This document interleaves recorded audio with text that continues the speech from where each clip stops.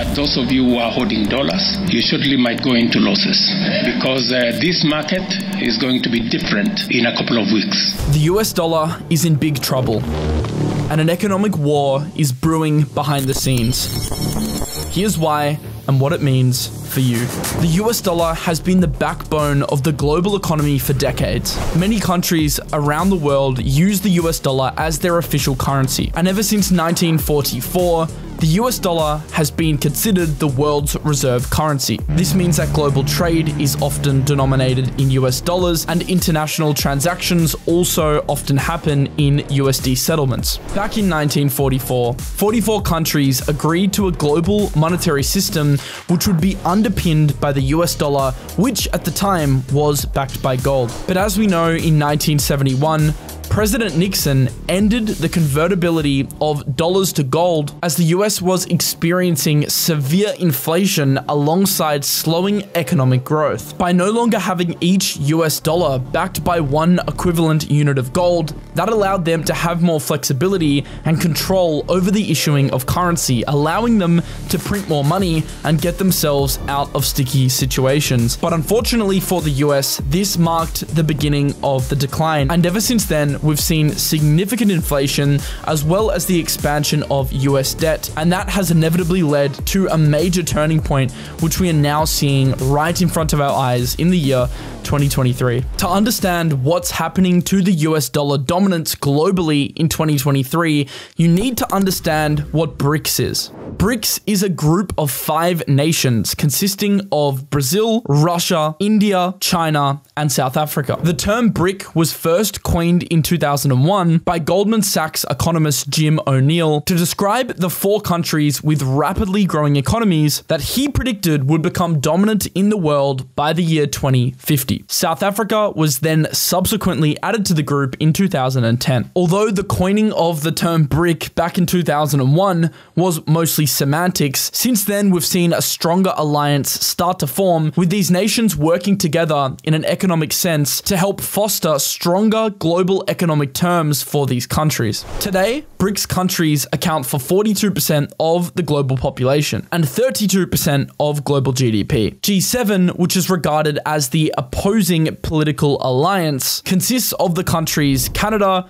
France, Germany, Italy, Japan, the United Kingdom, and the United States, has now started to wane in dominance compared to BRICS. As you can see from the graph in front of you, BRICS dominance in terms of the total GDP share is starting to flip the share of the G7 as the BRICS nations continuously gain power. But why does it matter if these nations gain power? Well, because they have an alliance and they're strategically working together to implement measures to better their own currencies' financial futures. But one of the ways that they are doing this is by accepting de dollarization and starting to settle trade payments in varying currencies. Back in 2014, Russia and China signed a deal to bypass the US dollar. They no longer wanted to rely on the US dollar for international trade and investment. The trend is called de dollarization. We are witnessing a rapid shift away from US dollars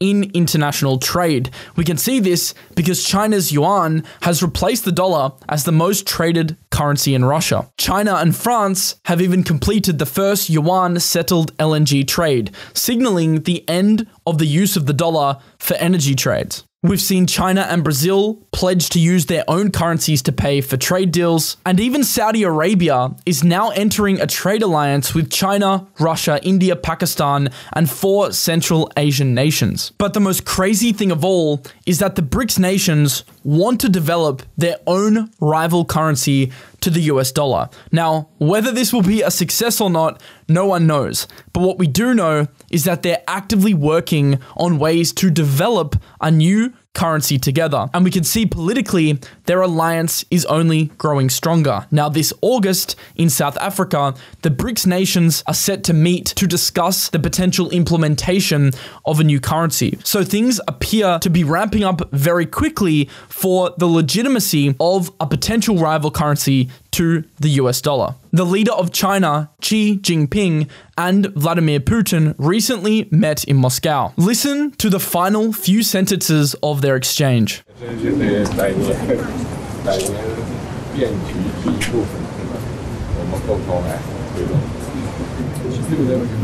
Пожалуйста, дорогие, дорогой друг.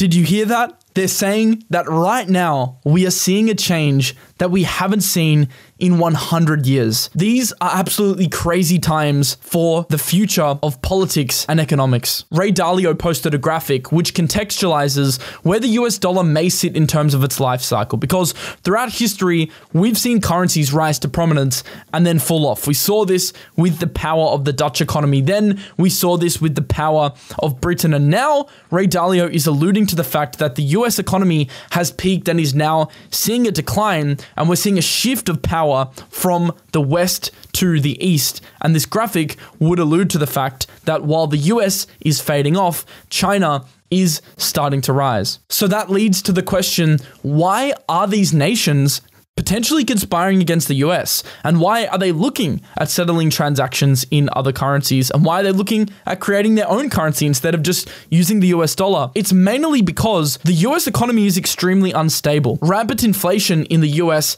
has become a significant worry, and so have the liquidity issues that are facing the US economy. A looming banking crisis in the US is definitely scaring foreign traders, enough so to want to decrease alliance from America. Now, it's probably not only just the US dollar showing a bit of weakness that is leading to some of these political changes. It could also be a strategic move, a sort of economic warfare to go after power, because at the end of the day, money is power. So if you can take away the US dollar dominance, you also take away the US's political dominance worldwide. But it's hard to argue that the US hasn't done this to themselves. Look at the amount of federal debt. You can see debt has been spiraling out of control. Jerome Powell even called to raise the debt ceiling, and this is in the midst of crazy inflation. So, really, the only solution over the past couple decades to the US's problems has been to print more money and print more money and expand the balance sheet and create more liquidity. But that just causes problems as the divide between the rich and the poor continues to grow.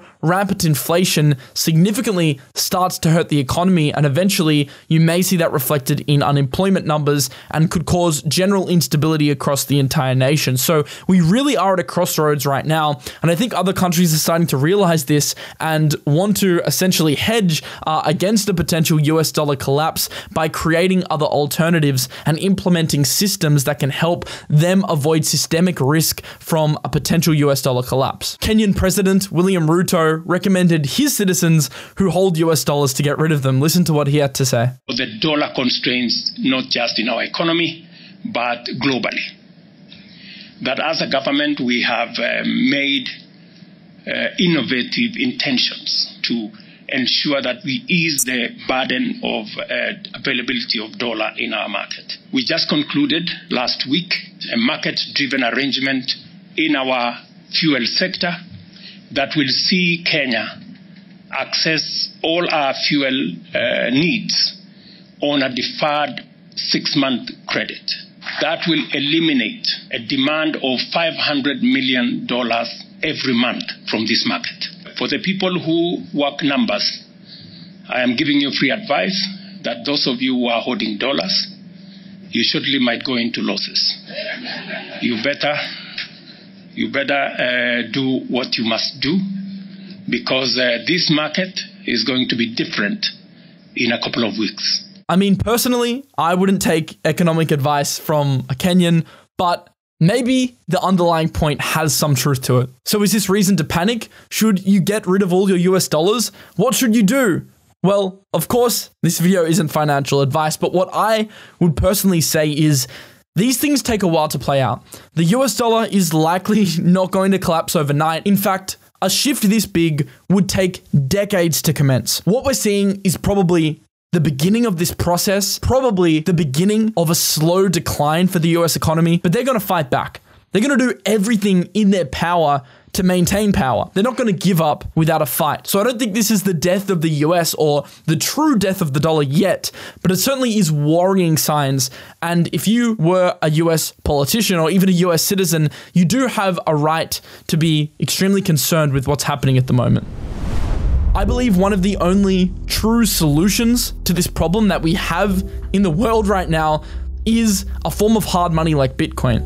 I do believe all of this uncertainty only bodes well for Bitcoin's narrative as becoming a true form of digital gold. You can't create more, it has a limited supply, it can't be tampered with, it's decentralized, it's not in the control of one party or government who can print more of it. It really just does make sense. And since the world operates in a digital realm these days, most people spend their time on computers, most people transact on their phones or on their computers. It just makes sense that Bitcoin can rise to prominence just as gold did as a store of value in the digital realm instead of in the physical realm. So I view gold as a very good long term investment, but I also view Bitcoin as potentially being able to do what gold's done over time and maintain resilience over time. Now, to this day, we haven't seen it. We haven't seen Bitcoin kick in as a true inflation hedge. For the most part, it has been correlated to risk assets. It generally follows equities like the NASDAQ. But I think one day we do see a shift. If I had to put my money on an asset for the long term, that wasn't going to devalue and it wasn't gold, it would certainly be Bitcoin. Of course, that's just my opinion. It's not financial advice. You have to do what makes sense for you. But I believe Bitcoin to be a potential solution um, to this issue. And even if it's not a solution, at least it could be somewhere to park your money that you not know is just going to be printed to death as it has a limited supply. I'm a big believer in taking control of your own finances and owning your own financial future. So I do a lot of my Bitcoin trading on decentralized exchanges that allow you to keep custody of your own assets. I think one really good option for this is Apex Pro. It's a decentralized exchange built on layer 2 using Starkware, so it's extremely fast, has low fees, and will allow you to trade Bitcoin with a variety of options. So that would be a place that I would personally look to trade Bitcoin. And then also, if you wanted to trade other crypto assets and you're more interested in crypto in general, and you also want a DEX where you can spot trade, I also recommend KyberSwap. There's a link in the description to both. This will aggregate transactions for you to allow you to get fast execution and low fees. So it will automatically route your transaction to find you the best possible price in the best possible place so you're not wasting money unnecessarily on inefficient trade routes. So, link in the description to Apex to trade Bitcoin and other crypto assets and KyberSwap as well. Although, obviously, it's EVM compatible, so it's not Bitcoin compatible. You can still trade other crypto assets and you can even trade wrapped Bitcoin or bridged Bitcoin if you want exposure to Bitcoin um, on a MetaMask wallet because Bitcoin exists and operates, of course, on the Bitcoin network. So, let me know what you think of all of this in the comments below. Do you think this is the end of the US dollar as the global world reserve currency, or do you think it's going to show resilience and bounce back? I'd be very interested to hear your opinion in the comments below. And if you did enjoy this show, of course, make sure to subscribe and click that like button as well as turning on that post notification bell so you're notified every time we upload a new video. I will see you in the next one. Hope you have a lovely day. Peace out.